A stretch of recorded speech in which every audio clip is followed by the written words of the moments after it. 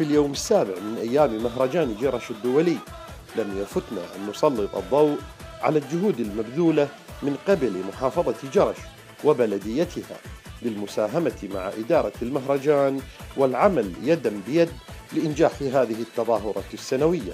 مهرجان جرش للأمانة يعتبر رافعة تنموية ويشكل حالة من حالات الحراك الاقتصادي خلال هذه الفترة.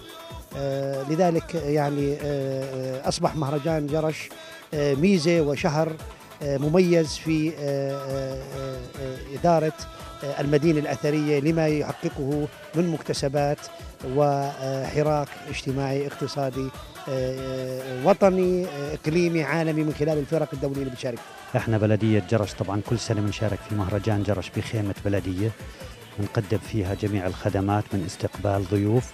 عندنا إحنا كادر عمال خدمات آه، العمال الوطن دائما إحنا متواجدين هون العمال. عندنا كادر قسم الصحة إحنا مراقبين. تمام كل الشغل إحنا عندنا هون من طرف بلدية جرش بالتعاون مع إدارة مهرجان جرش. وبالرجوع لفعاليات المهرجان فقد عقد مجلس شعري في مسرح الساحة الرئيسية للتأكيد من قبل إدارة المهرجان على الثقافة والمثقفين حيث خصصت ثلاثة أيام لإبراز المواهب الشعرية من مختلف محافظات المملكة. والقبلة الأولى يراودها العتب ويداي من ورد تداعب خدها والخد مغرور بحبات العنب والرقبة الملساء نهر ضائع.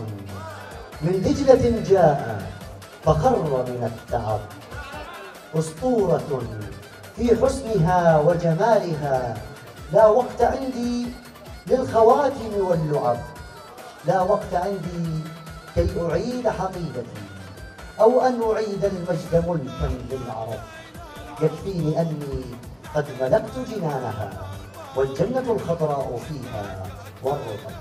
إحنا سعداء جدا في هذه المشاركة الطيبة في هذه الأمسية الشعرية والتي هي آه، تبين إحساس الشاعر آه، وتعطي آه، ما في وجدانه عن الإحساس الذي يعيشه وتناول موضوعات متنوعة في حب الوطن وفي حب القدس وفي أهمية القدس وأيضا حتى في الحياة اليومية التي نعيشها في في رسم ونشر ثقافة الحب ما بين الناس. المهرجان في كل سنه رائع والسنة رائع أيضا.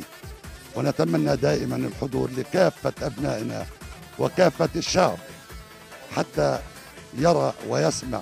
وهذه الحضارة أنا ذكرتها في أكثر من مرة في جوردن عرب في محطات تلفزيونية كثيرة. لأنه يجب أن نعمر بلدنا ونصنع من بلدنا شيء وهذا المهرجان ما يصنع في هذا شيء. وفي المسرح الجنوبي كانت القنوات الفضائية تتسابق لنقل حفل الفنان راغب علامة إلا أننا فوجئنا بإلغاء التغطية التلفزيونية بطلب منه. من مدينة جرش الأثرية. غسان عدنان قناة الرشيد الفضائية.